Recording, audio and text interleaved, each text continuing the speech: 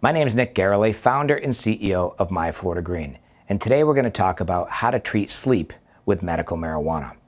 There are two strains to the plant to remember. One is sativa, which is often known as a stimulant, appetite suppressant, and can be energizing. We certainly don't recommend using this strain in order to treat sleep. The other strain is indica. Indica is also known as in the couch. Indica is often reported to be sedative and relaxing. So here's the two delivery methods that we would recommend to treat sleep. Inhalation is the fastest way to get the compounds into your bloodstream. So inhaling an indica strain through vaporizer is a great way to put you down.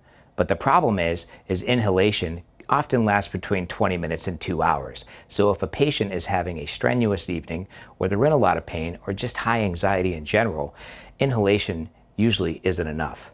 So if you want to use inhalation to go down, we would suggest using a sublingual indica to stay down.